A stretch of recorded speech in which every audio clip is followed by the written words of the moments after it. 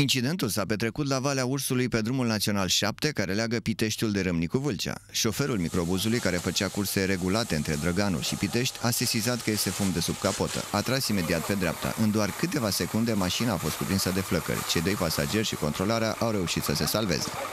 Când am văzut că mi-a ieșit fum, imediat am oprit. Și m-am dat jos și am luat borna.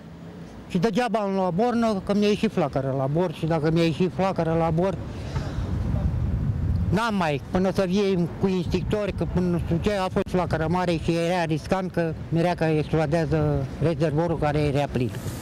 Sesizați, la câteva minute după incident, pompierii, poliția și smurdul au ajuns în timp record, dar nu au putut salva nimic din mașina care a ars instantaneu.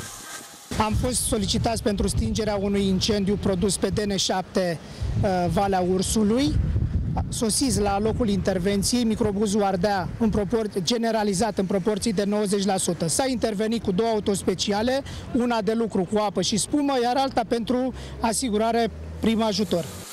Focul a fost stins de pompieri într-un singur minut. Localnicii au tras însă o sperietură zdravănă. S-au temut că toată zona poate sări în aer pentru că pe acolo trece o magistrală de gaze. M-am speriat pentru că e conducta de gaze. Zic, acum sărim în aer. Din cauza incidentului, traficul în zonă a fost îngreunat. Cozile de mașini se întindeau pe circa 3 km pe ambele sensuri. Autoritățile au demarat o anchetă pentru a stabili cu certitudine din ce cauză microbuzul a fost cuprins de flăcări. Cel mai probabil de vină a fost un scurt circuit la instalația electrică.